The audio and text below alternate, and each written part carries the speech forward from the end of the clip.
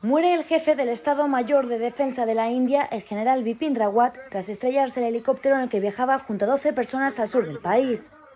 Otras 11 personas han perdido la vida, menos el capitán Barun Singh, que es el único sobreviviente del siniestro.